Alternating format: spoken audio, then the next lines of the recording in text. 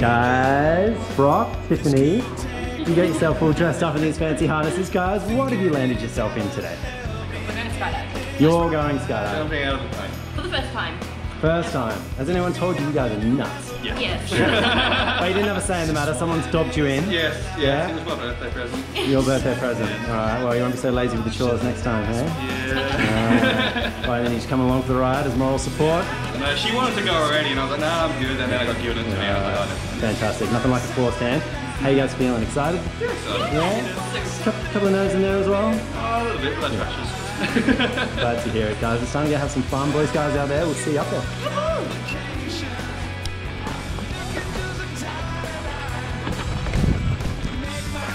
Is this the first time in a plane this small? First time in any plane. First time in any plane. I hate to tell you, it is actually that small. It's not very far away. Sure, it looks pretty far away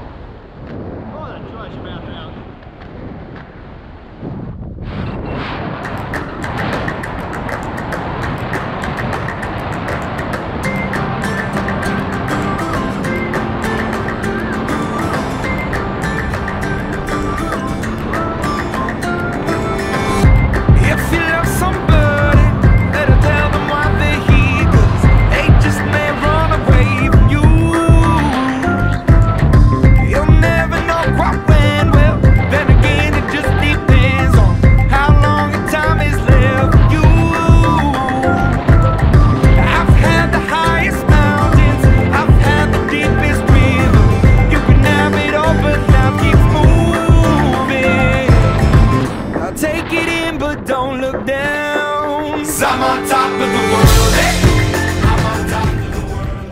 How was it? Terrifying. Terrifying? Good, it was good. You do it again? I'll do it again. Do it again. Good job on that. Hopefully we'll see you again.